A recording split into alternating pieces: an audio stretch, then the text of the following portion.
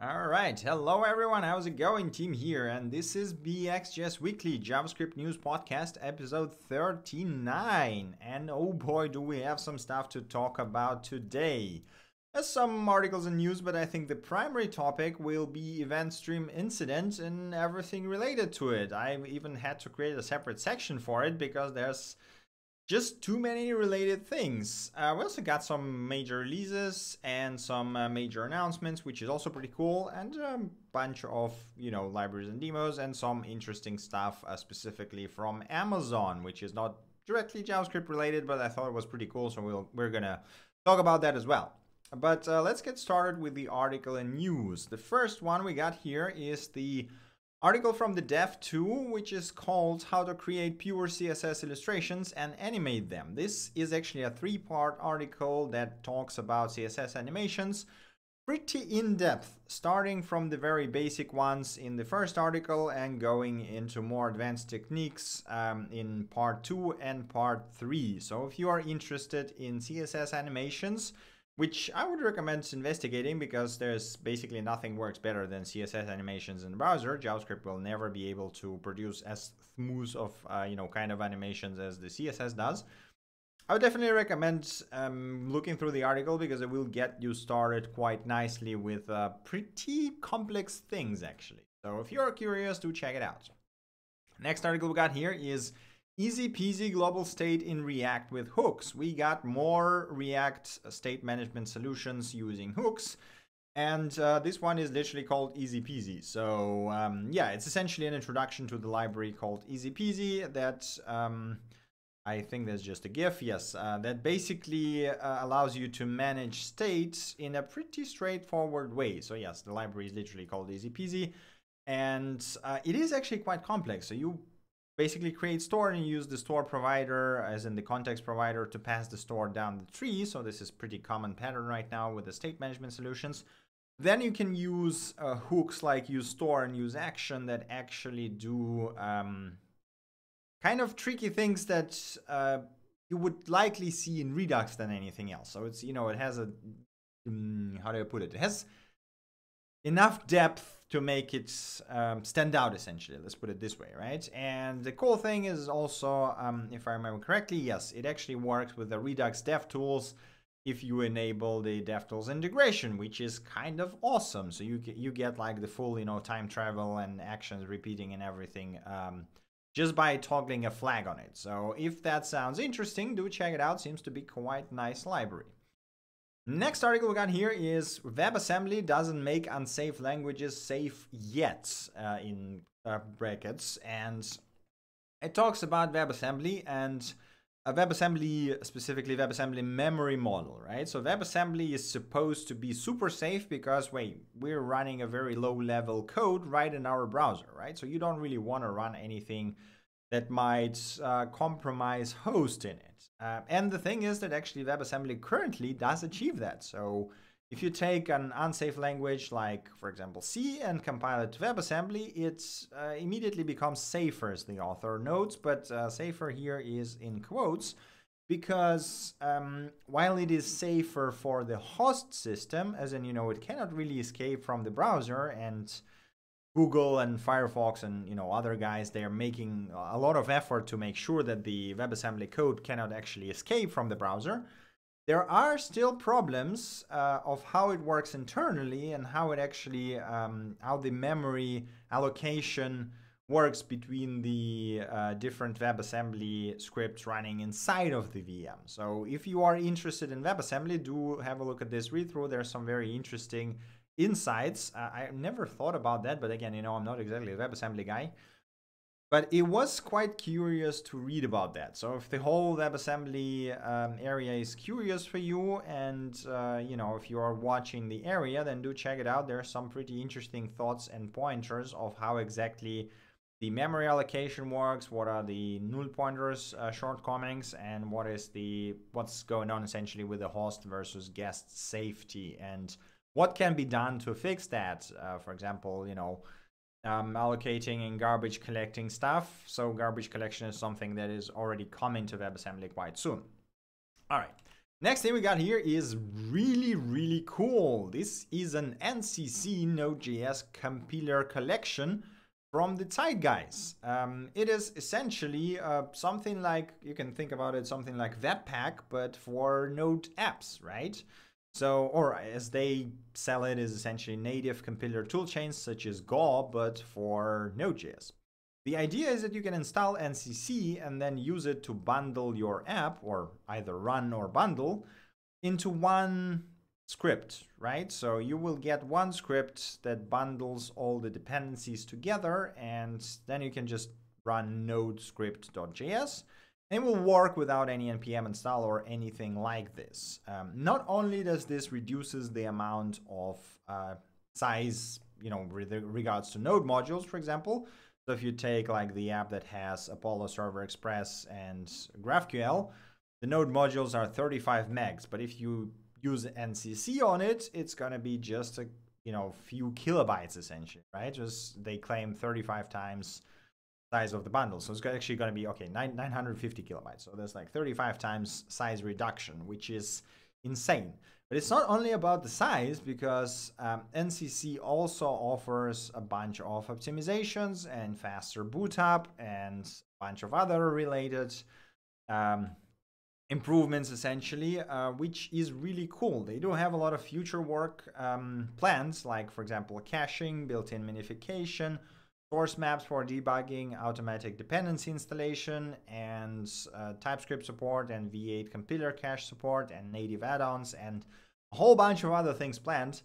But this thing looks incredible. Like I think that um, I probably would use it in majority of my projects before deployment because it's straight up gonna save space and gonna save time, especially the startup, which is kind of great. You know, you, you essentially don't you don't have to the node no longer has to go through all the files and as in you know when you resolve require you no longer have to follow the resolve the file and then read it and then include it and then parse it. You already have everything in one file which is going to save a lot of time in my opinion. So yeah this is kind of great and i'm pretty excited to see where all of this goes. All right, next article we got here is transducers, efficient data processing pipelines in JavaScript. This is very functional programming heavy article and yeah, as you might have guessed from title, it talks about transducers. Uh, in case you didn't know, transducers are highly composable, uh, sorry, composable higher order reducer that takes a reducer's input and re uh, returns another reducer. So um, for example, the compose function is an example of a transducer, right? So this article is essentially an introduction to transducers. It first of all explains what is going on, right? So what are transducers and how do they work? And then goes into why are we going to use them, where do we need them, and how you can actually apply them in the um, real life, let's put it. As, along with some background and etymology and all the related theory, which is there a lot because it's a functional programming. Uh, Donna, thank you very much for your cheer. This is awesome as usual. Okay, um, yeah, so if you are interested in functional programming, uh, specifically applied to uh, JavaScript, do check out this article about transducers. It will give you everything you gotta know about um, them, basically. All right, next thing we got here is the principle of least astonishment and JavaScript sorts. This is a pretty deep dive into how sort works in JavaScript, right? It is, um, as in, you know, the sort function is um, pretty straightforward when you pass an argument to it, right? So when you know that your array, for example, is numbers, then you can pass a sort that will sort it by numbers, and then everything works as expected. But if you call sort without passing everything, there is some weirdness to it, let's just put it this way, right? the thing is that this weirdness is actually documented. That's that's also like one of the points. This article basically deep dives into the whole thing and tries to figure out how exactly it works and what exactly happens. There are some things in the article that are not 100% uh, correct, uh, and there is an ongoing discussion in the replies to the article. For example, there's the Mathias uh, Bynens one of the V8 engineers, uh, I think I've posted his news quite regularly, who talks about some specifics of how the JS engine uh, handles the arrays and element kinds and all stuff like this. So it's quite quite interesting. Um, so if you're curious about how the JavaScript sort works, do check it out. It's really cool. Um, Donna, once again, thank you very much for cheering. This is really cool. Okay, continuing, we got, um, yeah, this one is really cool. So this is um, article called How We Reduced Our Initial JavaScript and CSS Size by 67%. And it's essentially a case study that shows on how to practically optimize your website to reduce the size of the immediately loaded things, right? So they have the, even the project is open source, so you can actually go have a look at the project itself. But essentially, it talks about using Webpack Bundle Analyzer to figure out what kind of uh, libraries and uh, things eat up the space, right? So it might be like CSS and uh, SVG or whatever you uh, require. It talks about the long-term caching uh, with content hashes. So when your resource changes, actually the cache invalidates. The commons bundle, code splitting on a route level, which is extremely easy to do now with the new React suspense loading external dependencies on demand, which is actually a pretty neat um, bit of it. And I mean, I'm, I'm going to show it to you in a second. Talking about font awesome and tree shaking, which I actually didn't know was possible. And switching from big to smaller NPM packages, which is something that you should consider if your bundle is too big. As well as optimizing the main bundle and using tslib if you are relying on TypeScript. So um, specific highlights that I want to, um, uh, specific things that I want to highlight are, first of all, um, loading external dependencies on demand, which is really cool. So they're talking about here uh, about the, um, little, what is it called? Toast, toasts, right? So toast notifications. And they, they included the library that is 30 kilobytes of size and that only 5% of users ever used, right? So this is kind of a waste. Um, hey man, welcome to the stream. Um, once again, hell if I remember how to read your username, so I'm just gonna skip it. I know that it is you, Leonid, and I'm not gonna read your username. Okay, uh, but coming back to the article. Um, so we got 30 kilobytes of JavaScript that is rarely used, right? So what they did is they switched to dynamic import, and after importing it, they call the module, which is basically gonna load those 30 kilobytes only when they need it and display you this nice toasts whenever you know something happens essentially by the way having 30 kilobytes for just displaying toast seems a bit weird but we'll just roll with it the other cool thing is that font awesome and tree shaking approach um, the idea that you know the font awesome is actually just a font right uh, but there's actually the react icons npm package that is really cool and uses SVG format, right? So actually you can import only specific icons and specific bits of it, which means the tree shaking will work. And in their case, they had a 68 kilobyte smaller bundle because of that, which is really cool. By the way, React icons are an amazing library and I wholeheartedly recommend using them. So yeah, if you're interested in all those kind of details, then do check out this uh, use case essentially. It is really nicely written up and there's a lot of uh, pretty cool things going on here and a lot of very interesting, let me try that again, a lot of very interesting pointers. All right, next article we got here is a different way to manage state in React. Um, introduction to a new library called React Recollect, which uh, uses the higher order component and a global store to allow for interesting looking patterns, let's just put it this way. So you wrap your components in the collect um, higher order function, or I guess higher order component in this case, and then you can use the global store in your component as if it just was there. So the recollect will handle the updates and all this kind of stuff for you. I am not sure what is it based off because I don't think the article ever talks about it unless I somehow missed it while reading. But I'm guessing it's probably something like ES6 proxies again. Uh, yes, it is a proxies. Okay, so I just. Uh, and yeah, I mean, the proxies pattern has been around for quite some time now, and I think uh, React Easy Store was the one of the first ones to use it, which worked pretty well. And this seems to be sort of iteration upon it uh, to simplify it even further so that you, you don't have to, you know, um, create a specific separate store. You already have the global one which might be seen as a shortcoming because that means you only have one store and there's no way to sort of change it, right? You cannot have multi-store setups. But uh, maybe that sounds interesting for you. Maybe you like the how the API looks. So do check it out. Uh, and uh, Oh, there's actually a V2 of Recollect with the out with the immutability integrated. That's interesting. But yeah, I mean, it seems curious. So if you are still looking for the React Store solutions, do check it out. Maybe this is your cup of tea. It's called React Recollect, and the article is linked in the today's uh, collection of links, basically. Okay, continuing, we got uh, Inside Fiber, in-depth overview of the new reconciliation algorithm in React. Um, we already had articles from uh, Max uh, Koretskyi, and uh, they were really good. So he's sort of doing those deep dives into the React's um, inner workings.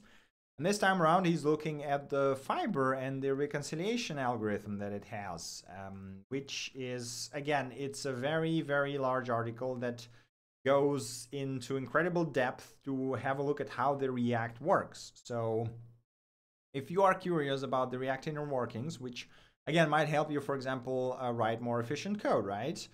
Or understand better what happens when stuff changes. So all of that is here, and um, or I guess understand why the nodes re-render when the data changes, right? How exactly that works. So if you're curious about that, or maybe you want to learn and understand React better, then definitely do check this article out. Highly recommend it. As i said it is big and it is very in-depth. So it's essentially i don't know it's like probably half an hour read if not more when you you know dive into the code and on all the examples. But it's definitely worth it. It's an amazing article a very well written very easy to understand and uh, gives you an incredible insight into the react reconciliation algorithm. So um, do check it out all right, next thing we got here is messing around with React Native layout animations, and it's essentially a small tutorial on how to animate the transition between two forms, right? So in this case, is uh, you can see here on the GIF, there's a login and sign up form with a toggle up top that switches between them.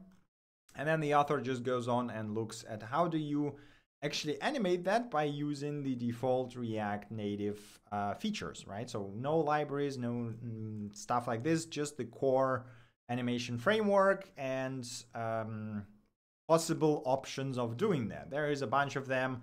If you are working with React Native and if you are curious how you can use the native animation framework, to check it out. It's a basic tutorial essentially, but quite nice one. All right, um, next thing we got here is lazy loading and preloading components in React 16.6. This is once again the article that talks about the new features in React 16.6, is specifically React Lazy and um, the suspense and the dynamic imports, right? So before that, before the 16.6, you had to use some third-party library for this, but right now you can just uh, literally just use suspense and load it on demand, right? So the article talks about why you actually would want to load on demand instead of uh, bundling it all away. Uh, and you know the the answer is of course there are networks that can be very slow, like 3G for example. Even though 3G is not that slow, um, some things might um, take ages on it. Like for example, if you look at the example here on the 3G, this is gonna take um, yeah about two and a half seconds to load like 125 kilobytes of JavaScript, right? This is a long time. And um, then the author talks about how do you change that to lazy loading and specifically loading the component only where it's needed. So in this case, it's a stock market thing and you load the specific stock table only when the user clicks on a specific stock, right? So um, it actually the author actually shows how do you migrate from the existing codes to the new lazy loading one. Um, i don't think i have any bot set up donna. I'm sorry uh, but i've been up for like 22 minutes so i'm gonna be your bot for today.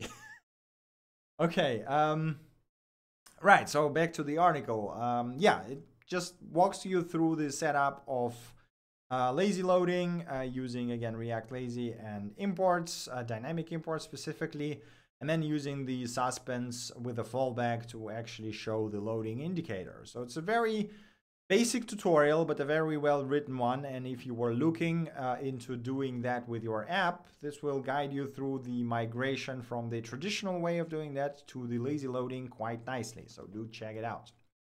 Okay, next thing we got here is React 16 roadmap. Uh, we got the official roadmap from the React team that outlines the upcoming releases and um, approximate timeline for them.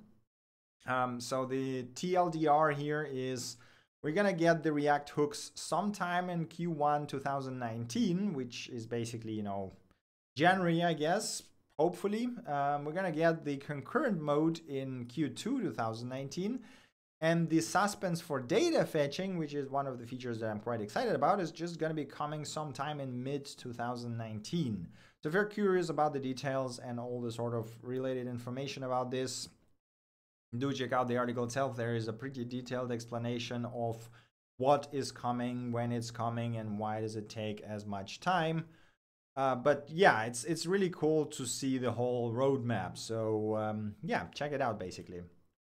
Okay, next article we got here is called "Actually Callbacks Are Fine," and uh, it is talking about handling the callback hell using the functional programming and crazy um, functional representations of callbacks, which I don't know. Arguably, I would say that this pyramid of doom that you see on the screen right now is easier to read than the result at the end. While, you know, it looks but this formatting over here makes it painfully hard to understand what the hell is going on, at least for me.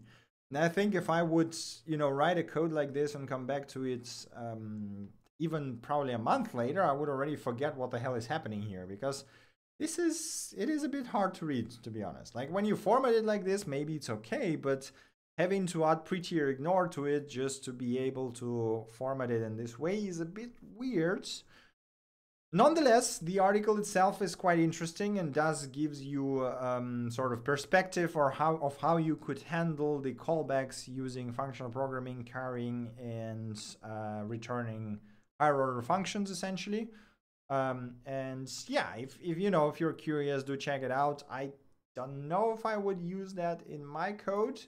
Then again, you know, this is one of the reasons why I think that going completely into the functional programming or completely into the object-oriented programming doesn't really work that well for uh, JavaScript at least, maybe for me as well. Uh, but it is an interesting exercise nonetheless, so do check it out.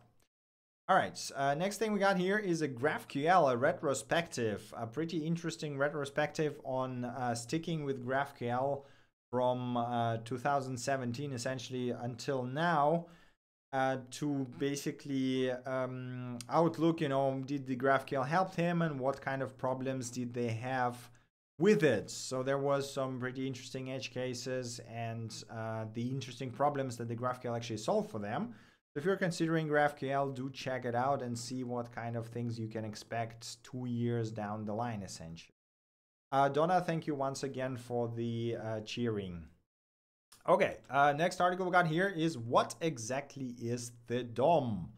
This is a pretty detailed write-up about the document object model or the DOM as you know you might or might not know it. If you already know what the DOM is, you won't really find anything amazingly new here. If you are still confused what the DOM is and how exactly it works, this article actually explains everything very well. I mean, the DOM is not extremely complex concept, and this is probably like a 10 minute read, but it does give you very good examples. It does walks you through everything you have to know about DOM. So yeah, do check it out. Um, all right, continuing we got testing Jest from zero to hero. This is an introduction to Jest and majority of its features. So the Jest has incredible amount of features and I like without a doubt right now it's my favorite testing framework.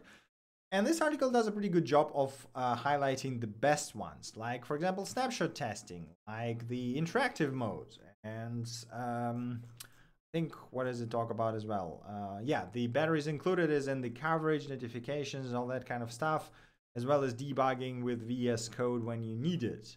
So if you were curious about Jest but never used it, this will basically give you a pretty good introduction into the basic features. Um, I would recommend going to the Jest documentation and reading it because there is a lot more to it than just snapshots and interactive testing.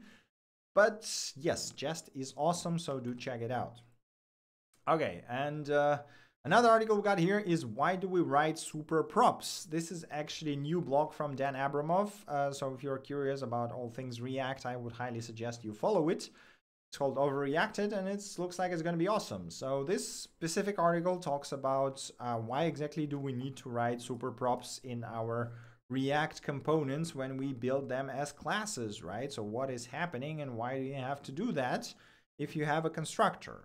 So if you ever was curious why is that needed, then do check it out. It is a very clear and very extensive explanation of what is happening underneath the React classes. Uh, so yeah. All right. This is it for the article and news, and now we are coming to the primary topic of the podcast, I guess you could say that. The whole event stream incident that happened this week. So if you somehow missed it uh, this week, the event stream package that is installed by more than, or essentially it has more than 2 million installs per day, was compromised. So um, the new maintainer added the flat map stream 0.1.1 and then um, upgraded some additional dependencies to hide it and pushed a new version that essentially included compromised code, which basically tried to steal your bitcoins if you had any. I believe it was Bitcoin, basically cryptocurrency. Let's just call it cryptocurrency, right?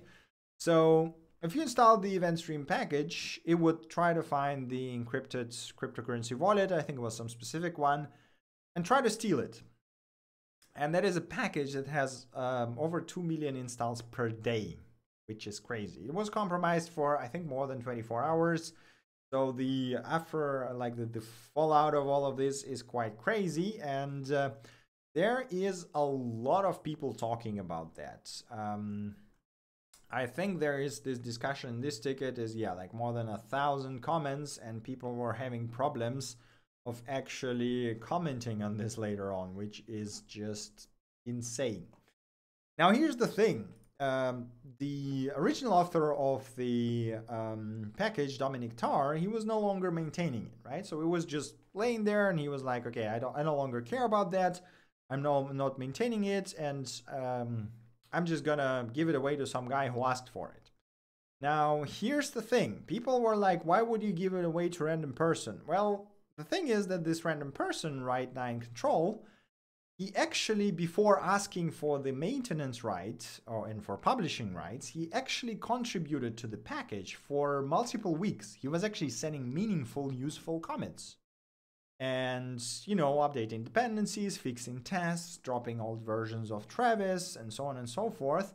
And then at some point he was like hey can i just maintain it from now on? Because you know i have time i want to do that why would you say no to that if you don't care about this package anymore? So obviously the author said, yeah, sure, here you go. You can now be the maintainer and you can now have the publishing rights. And the guy just go and does malicious stuff. So um, the first thing uh, that I'm, I'm going to highlight, this is sort of the gist of the what happened, right? So the first thing that I'm going to highlight here is the statement from the Dominic Tarr himself on the package itself. So um, the uh, thing that I want to talk, like there's a pretty big write up here that you can check out yourself, but uh, essentially, uh, here's the highlight of it, right? This is the gist of open source.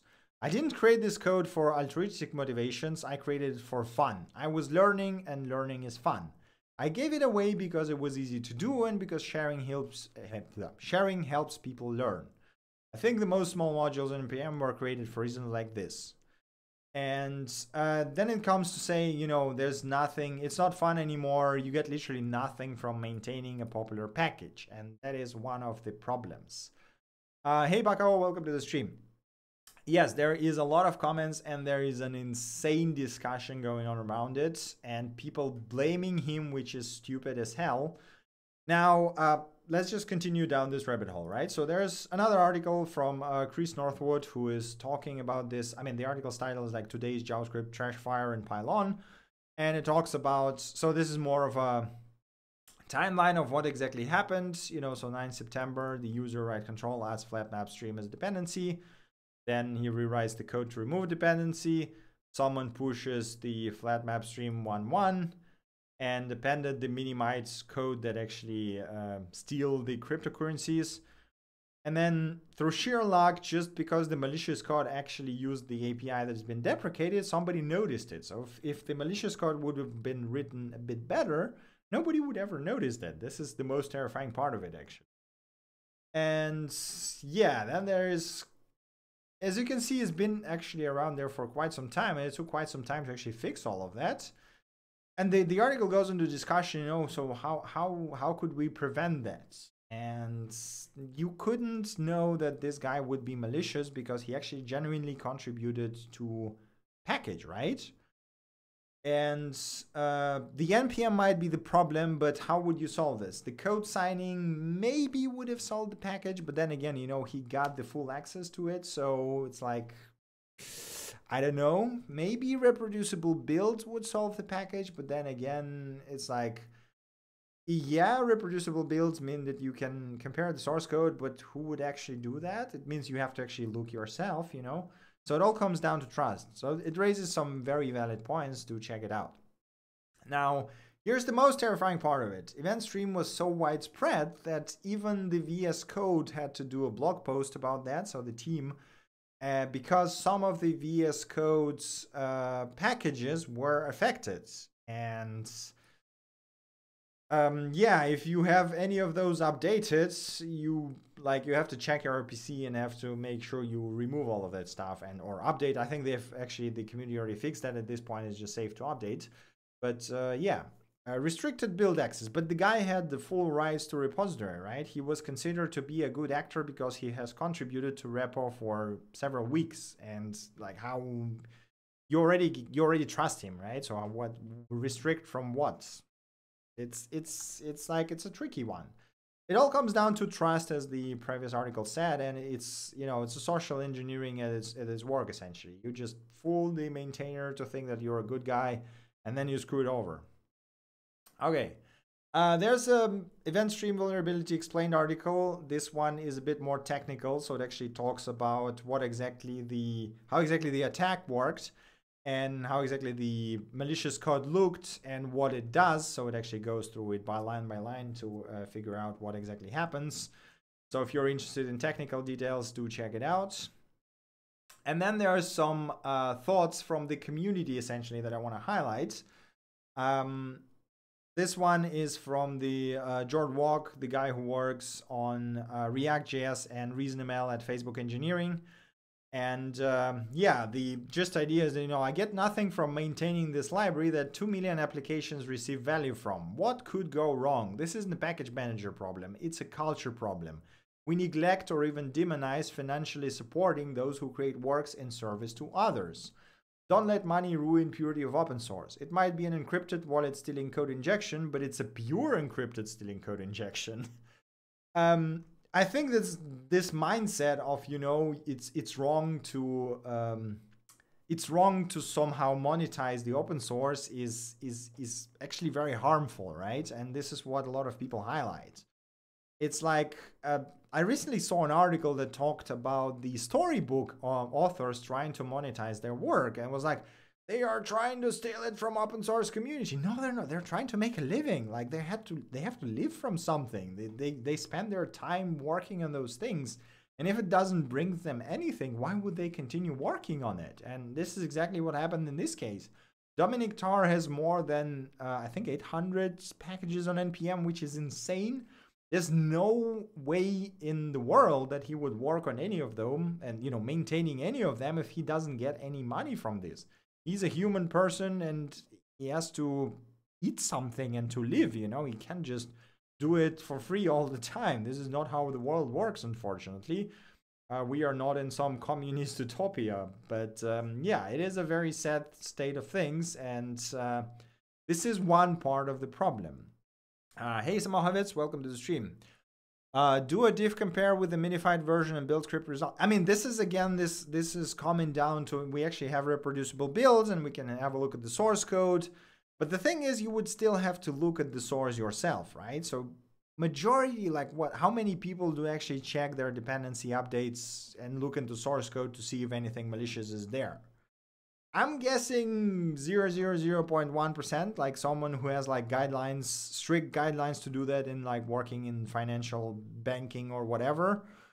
Nobody else does because why would you do that? You trust those guys, right? And um, apparently that's not actually what you want to do. So yeah.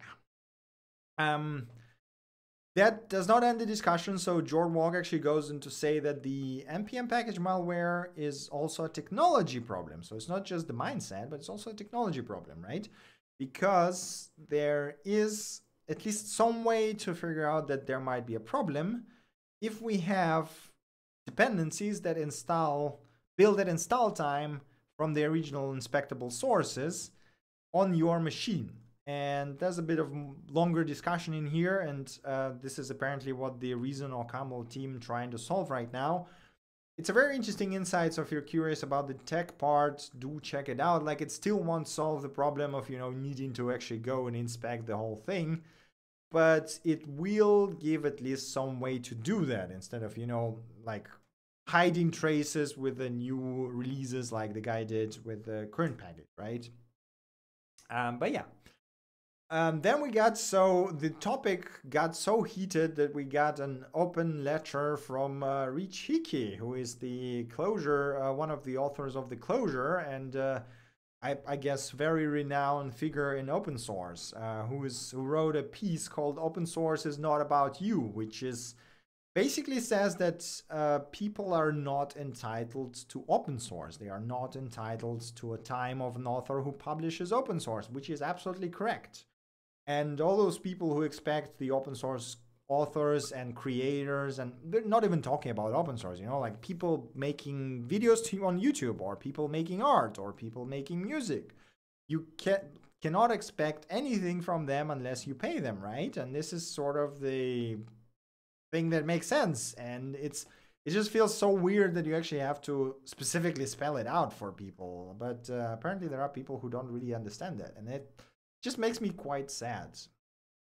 Um, yeah, that's that's actually it for the event stream section. It is ridiculous situation, which is very sad, uh, mostly due to the reaction of people who are actually involved uh, or like who was affected by it. I mean, I guess you know, I get it. You're angry. You were maybe your crypto was stolen, which is again a bit silly, but whatever. But um, there's you you cannot expect a person to figure out that someone was malicious while he contributed legitimately contributed to project for several weeks. Like why would we have any doubts about giving him the rights to contribute to the project if he actually sent meaningful contributions for the past x weeks? Like it just boggles my mind. How you can blame the author? This is insane.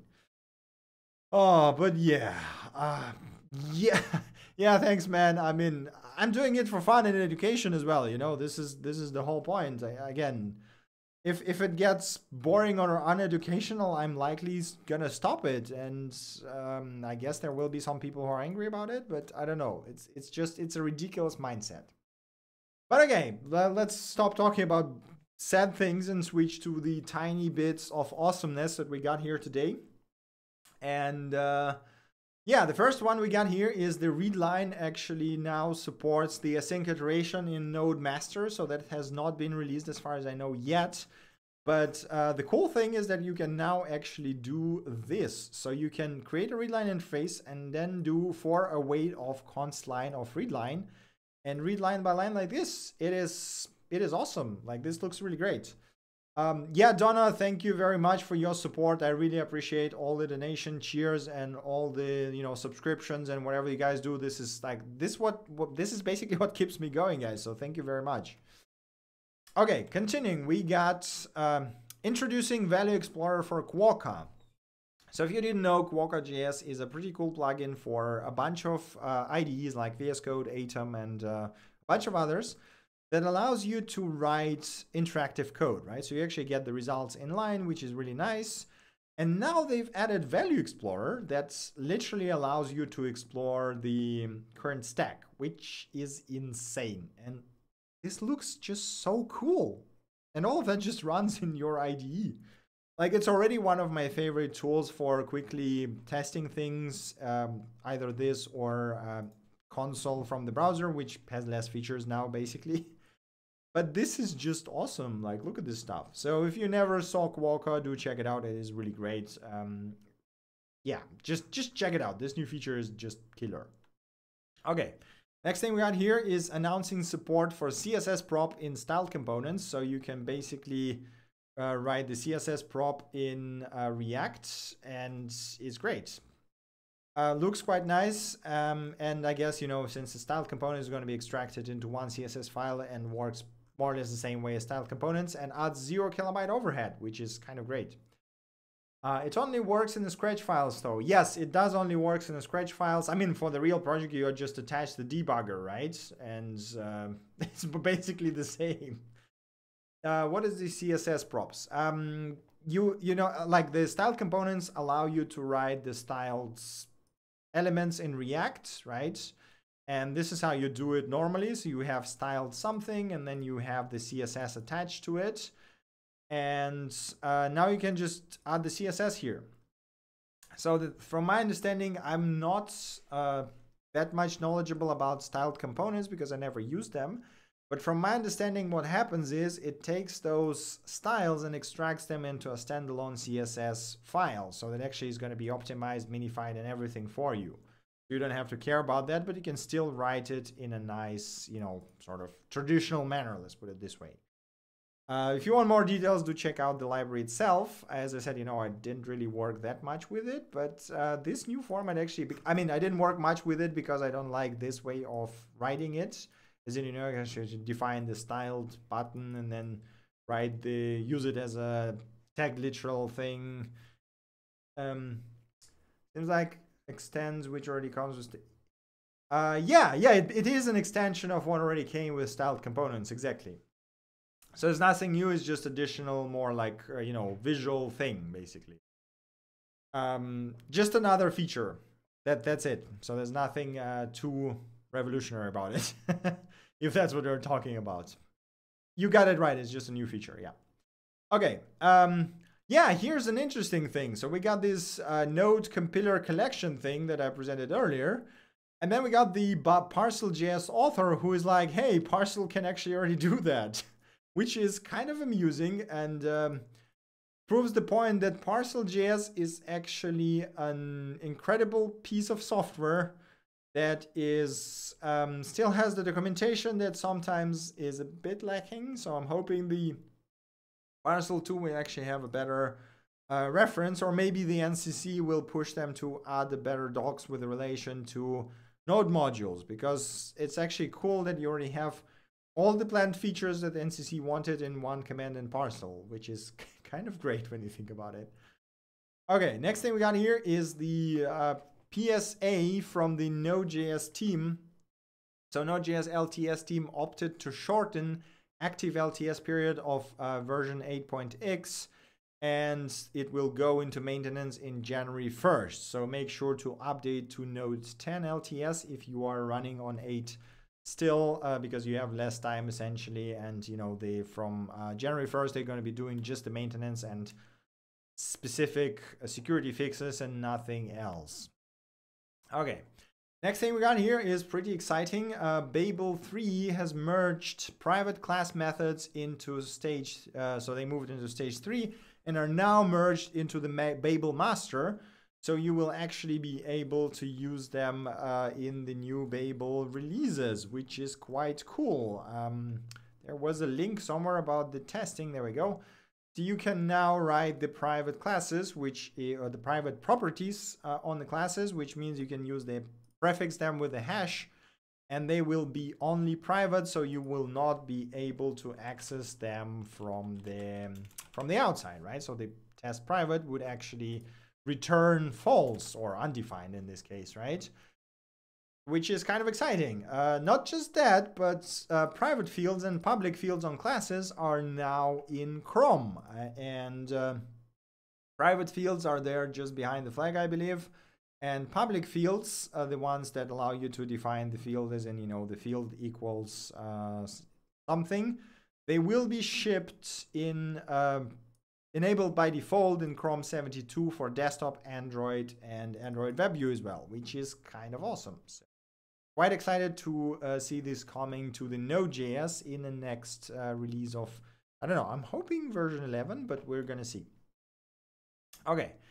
Uh, and yeah, the last thing I got here, I think this is the last thing, but whatever. So we got this stage zero proposal to add a pluggable type system to JavaScript. Uh, so if you you're a fan of TypeScript, maybe soon you will have TypeScript in JavaScript, which yeah, basically the proposal is to add the um, annotation that would allow you to write types right in your code and at runtime, those types would be converted to comments essentially, right? So this is will be only the types for users. So the compiler, parser, and so on and so forth would still work the same as before, but the annotation would transform those uh, and allow you to write this uh, into the um, code, which basically turns JavaScript into TypeScript at this point. And um, I, I don't know. I think this is kind of cool. So if I would be able to use types in uh, in JavaScript, I would probably use them in some places. So like not everywhere, but um, yeah, I guess I would. Again, this is a stage zero Strawman proposal, so it's not even accepted into TC39 as far as I know, uh, but it is still quite exciting to see people push for the types in the core. Um, yeah, it is quite curious. Uh, hey Mandaputra, welcome to the stream. All right, um, now we got the releases section. The first release is the Omi version 5.0. That is the Vue framework, another one of those. I think we already covered it a couple of times. Uh, that basically they tailored the new version towards the MVVM architecture, and they give some examples here. I I never had time to actually check it out, but if you are curious or maybe you're fan of MVVM architectures, do check it out. I mean, it seems quite nice. They also use like J6 and stuff. Maybe this is what you want, but I don't really have much to say about it, to be honest. Uh, next thing we got here is Emotion 10, a pretty major release of the Emotion uh, styling plugin that adds uh, quite a bunch of things, including the CSS prop as well. That seems to be all the heat right now. Um, hey, Gugitona, I hope I read that correctly. but let's just go with that. Probably not, but uh, apologies in the advance. I am terrible with usernames, so let's just gonna go with that. So you got the global component and zero config server-side rendering, which is really cool and something that a lot of those styling things don't really support, which is uh, one of the reasons I think the Next.js guys uh, rolled with their own solution. But yeah, if you're using Emotion, do check out version 10. That seems to be pretty exciting major release. Okay, then we got a minor LTS release of a Node version 10.14. This is a security release and everyone who is using LTS should update to it. It contains the fixes for at least five CVEs, which is insane when you think about it. Uh, two of them are OpenSSL and three of them are Node.js related, including some DOS attacks, hostname spoofing, and glorious HTTP DOS. Um, so yes, if you are using LTS, do make sure to upgrade because this is an important security release. Right, and uh, next thing we got here is Fastify version 2 RC actually. So this is the release candidate for now, but it's really cool to see Fastify basically releasing another, another major version. I am a huge fan and I think I've used it in a uh, majority of my projects right now. So they've, uh, it doesn't seem like it's going to have any breaking changes or major breaking changes. So most of the code should still keep working, but they are adding additional like sanity and, you know, things, um, quality of life improvements, let's just put it this way. So yeah, if you're curious, do check it out. Fastify is great and uh, looks like Fastify 2 will be even better. Uh, more issues with URL parsing. I mean, URL parsing is always quirky and problematic because there is just no right way to do that. Uh, but yeah. Right, next thing we got here is TypeScript 3.2. It was released on November 29, and uh, the major highlights are rest spread on generic types and BigInt support. Everything else is basically very TypeScript specific, and I can't really tell you much about it because I'm not really using TypeScript that much. But uh, if you are, do check it out. It seems to be a pretty cool release. Next thing we got here is Atom 133 with built-in Rust support, a better GitHub package, and uh, soft wrapping improvements, as well as ability to disable snippets, and some performance improvements for bracket matching. Um, once again, I'm curious to see how the whole Atom versus VS Code will develop since GitHub was acquired by Microsoft. And uh, yeah, It feels a bit weird that they actually built in the Rust support, but um, why not? All right, that's it for the releases. Now we are getting to the libraries and demos section. The first library we got here is Progress Estimator, and it's a um, command line tool that allows you to estimate progress of a task and show a nice uh, progress bar automatically, which is kind of neat. So if you were looking for something like this, do check it out. I feel that VS Code is doing better. Uh, I mean, it's like, I guess it depends on, on what you work with. Uh, I would say VS Code is definitely doing better with regards to JavaScript community. Let's just put it this way. I know that Atom is quite popular with the Rust and Golang communities, for example, because they have a pretty good packages. Again, that may be my perception because of the people who I talk to, you know, so it might be might be quite wrong. I guess unless we see the survey, it's, it's a bit hard to tell. but uh, I mean, it's still alive, so still developed. It's really cool. All right, uh, next thing we got here is drag and drop, accessible drag and drop list reorder module. So this is uh, framework agnostic, so pure JavaScript list reordering module that is um, accessibility friendly essentially. So uh, works with React as well. So do check it out. Looks quite nice, but then again, if you're using React, I would say um, have a look at the beautiful React DND because this is just amazing. All right. Uh, Next thing we got here is Tau Prolog, Prolog interpreter in JavaScript. Uh, so if you ever wanted to write Prolog in a browser, now you can. I honestly never learned Prolog, but uh, maybe I should because it looks interesting and I don't know. And now I can just do it in my browser. There's like a REPL here and you can even do like derivation tree visualization and everything, which is insane, uh, but uh, really cool. So check it out. Next thing we got here is Refract. Um, basically, a library that allows you to harness the power of reactive programming to supercharge your components. Uh, what this really means is it allows you to use reactive programming libraries with um, different UI frameworks like React, Inferno, Preact, and Redux. Or not just React, uh, not just uh, frontend, I guess. Not just UI frameworks. So it allows you to uh, wrap your components in special um, higher order functions and then just use your observables right in the component itself, which works quite well, it seems. It's a very nice way of handling them because working with reactive like observables essentially in any UI components can be a bit of a pain. Um, and a lot of people have tried doing, you know, simplifying it. Uh, and this one seems to be like one of the nicer ways of doing it because you can literally just um, get the work with observable as if it was like a like a value, right? It's kind of neat. Uh, do check it out if you're working with RxJS or any of this, you know, I think it works like Rx, callbag, most, and xstream. Yeah, there you go.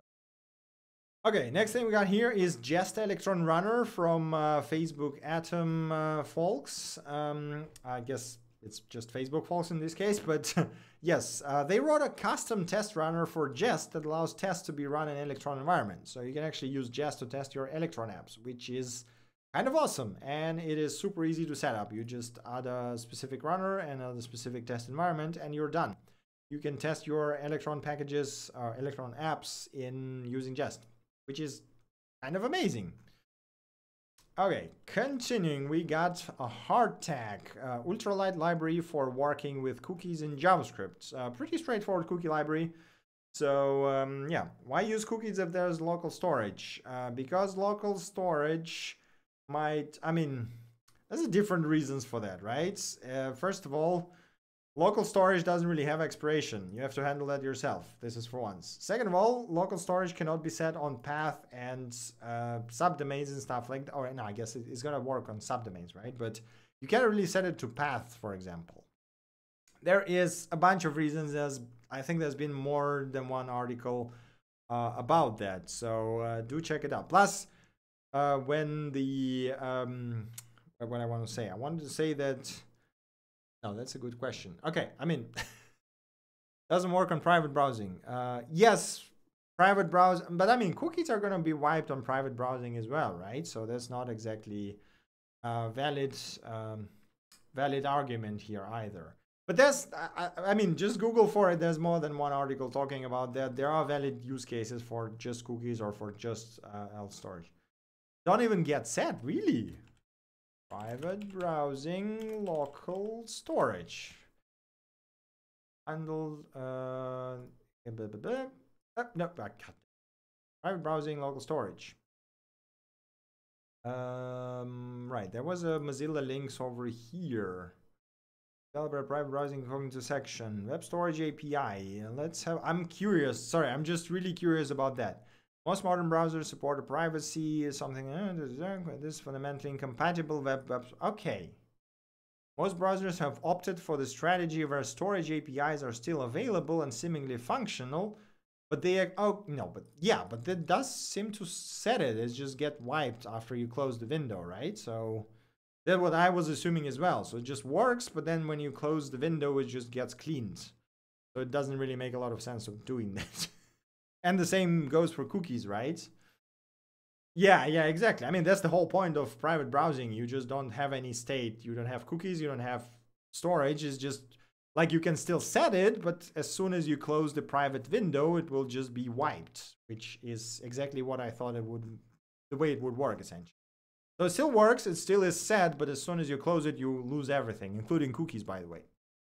Okay, Next library we got here is scrollpub.js, uh, responsive and written in pure JavaScript that shows your scroll progress, like this tiny bar on top. Um, I mean, maybe you were looking for something like this. Seems to be pretty straightforward and uh, pretty easy to install, so do check it out.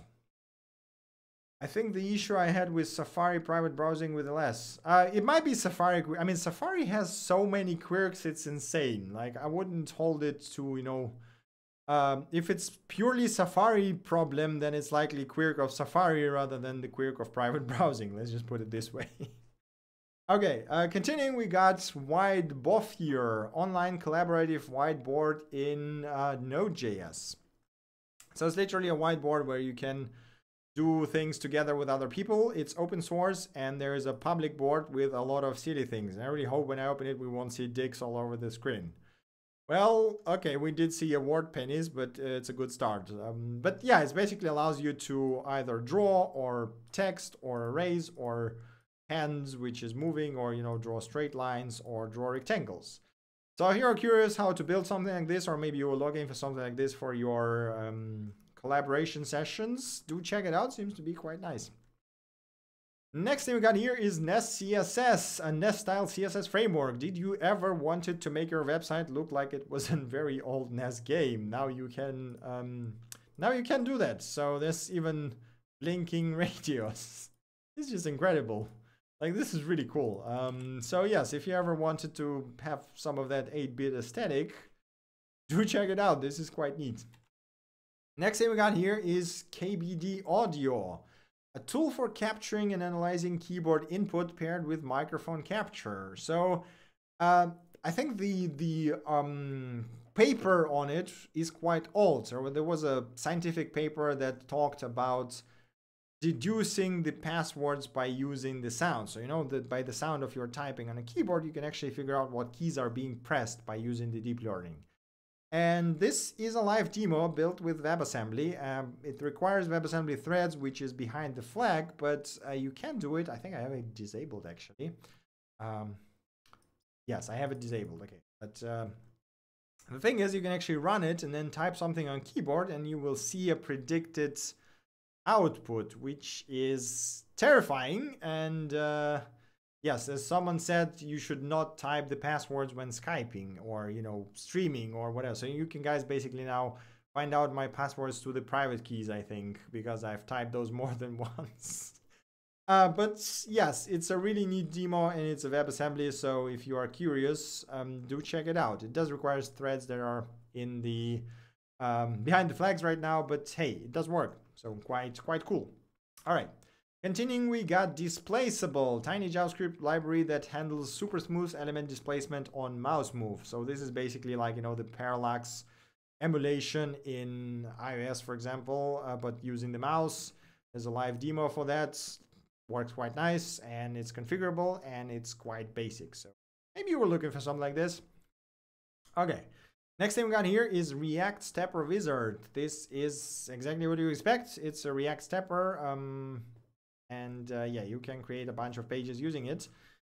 I honestly think that, you know, if you're creating a stepper like this, those should be a different pages, not a wizard, and uh, preferably a pages that have different URIs so that if you refresh it, you will still be there. But uh, maybe you were looking for a simpler component, so check it out.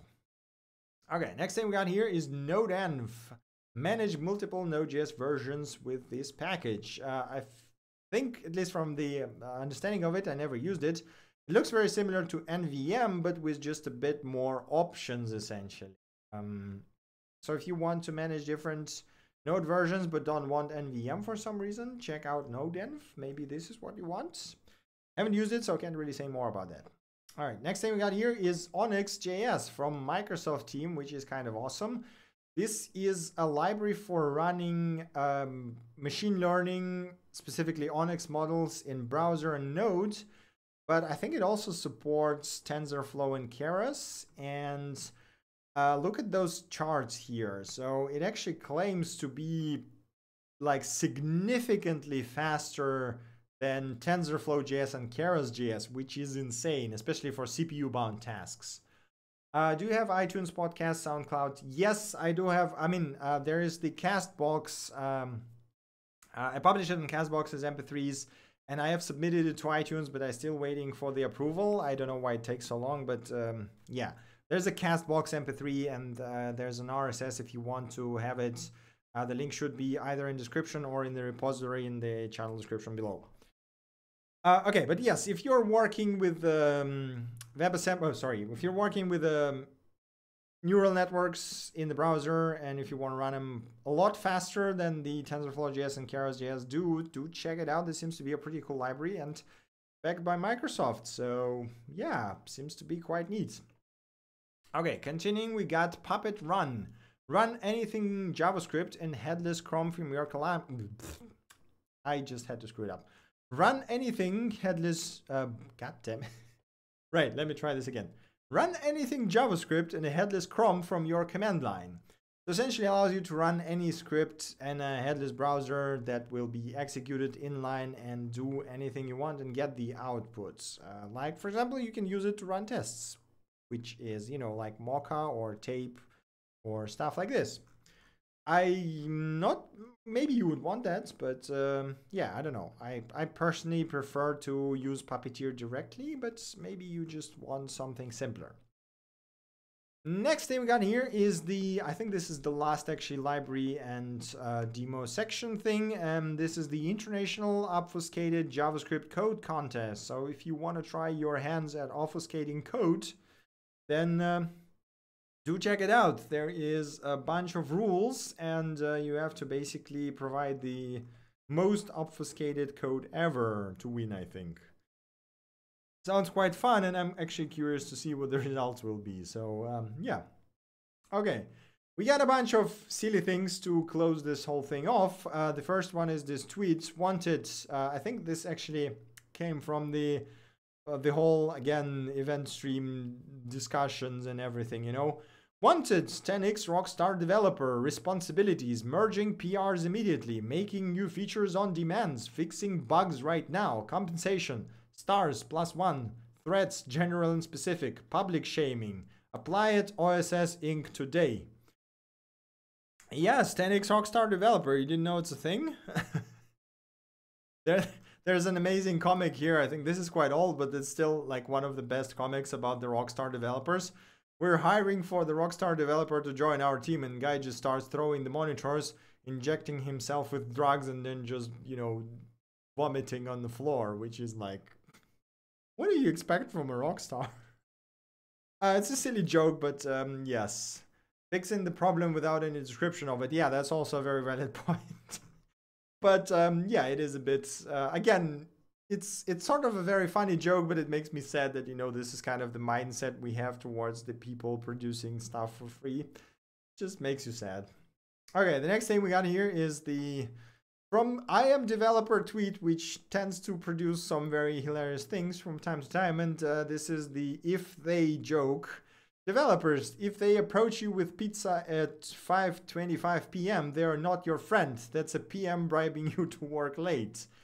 And um, I'm guessing everyone had a situation like this once, once, once in a time. So yeah, this this just strikes too close to home. All right, and um, the last thing I want to show is actually um, interesting thing that was announced at the uh, Amazon, um, AWS, whatever the conference they had recently. I'm, I'm almost forgetting the name of it. Called Firecracker, and it's a secure, fast micro VMs for serverless computing. This is essentially what the Amazon Web Services Lambda functions run on, which is kind of awesome that they open sourced it. re:Invent, yes, thank you, AWS re:Invent. Um, they claim that this is essentially a VMs, right? But micro VMs, and they could start in milliseconds. Like, I think the claim was something like under 100 milliseconds, which is kind of insane to have the safety of virtual machine and the speed of essentially a Docker container. So I am.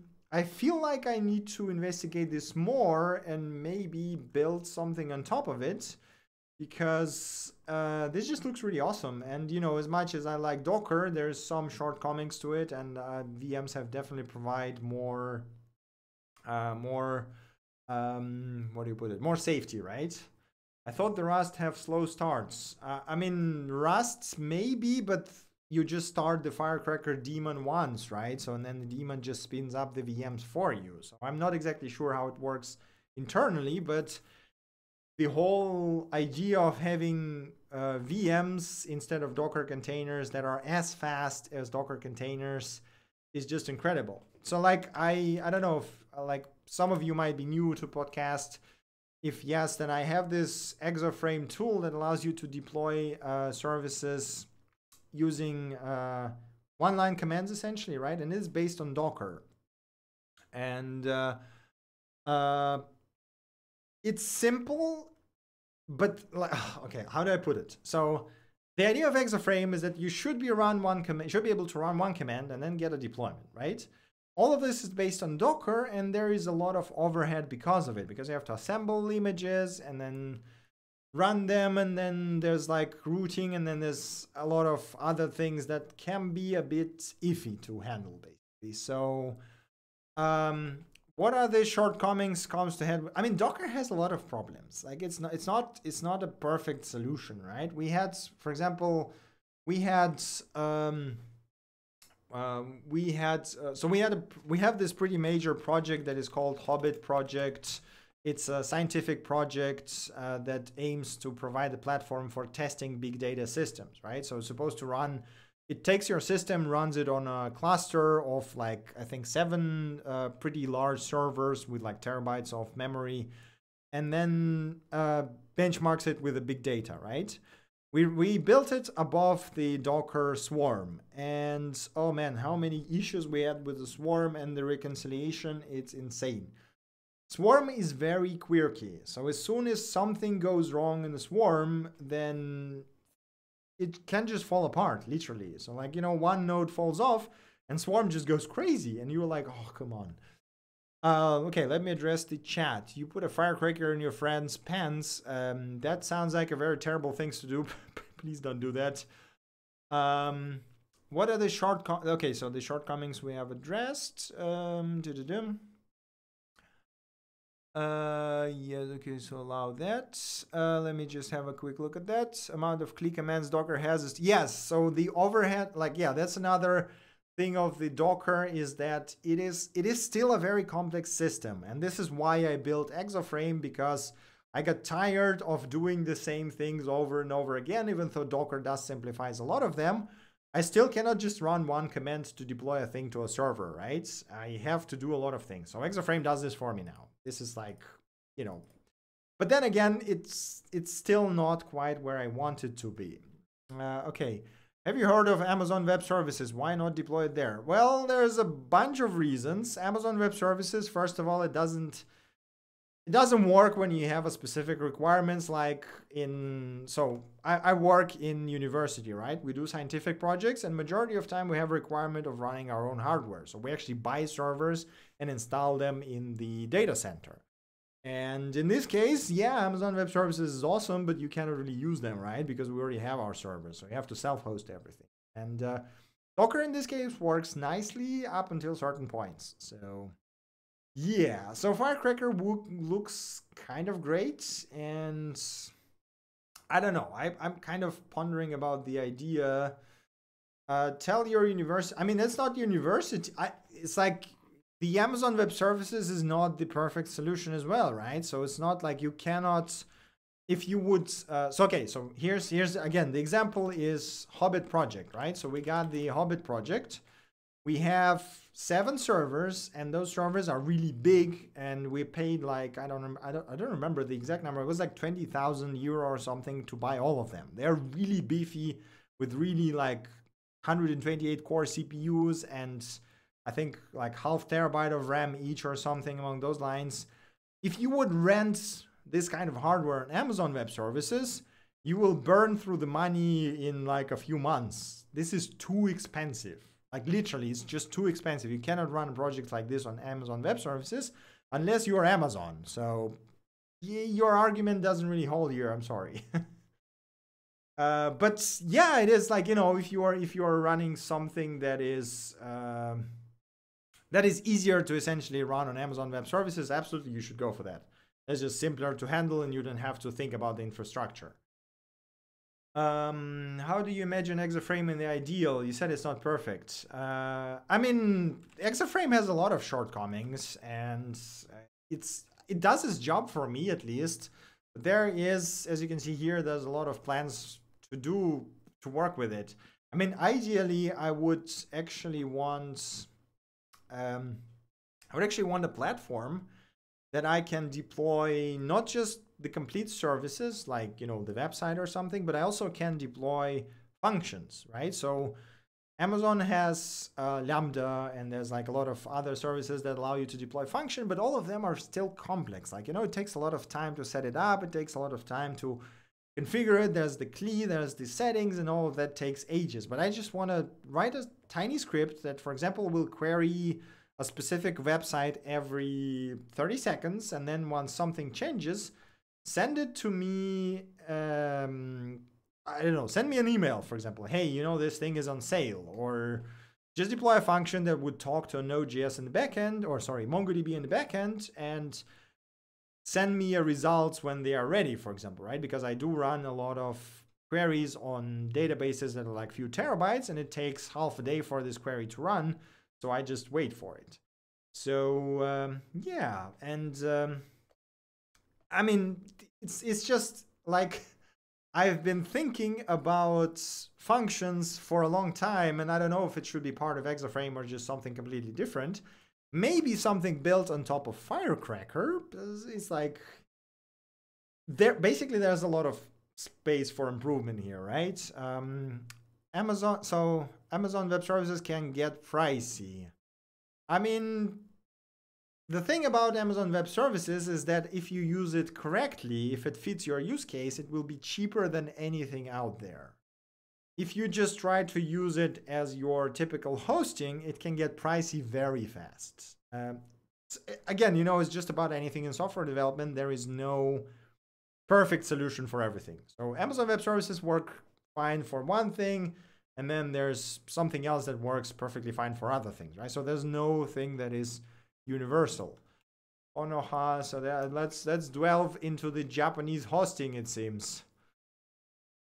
Um, that is indeed in, in I guess uh, thousand JPY months. I don't know how much is that actually uh, in euro. So I am terrible with converting currencies, so we're to convert that to euro.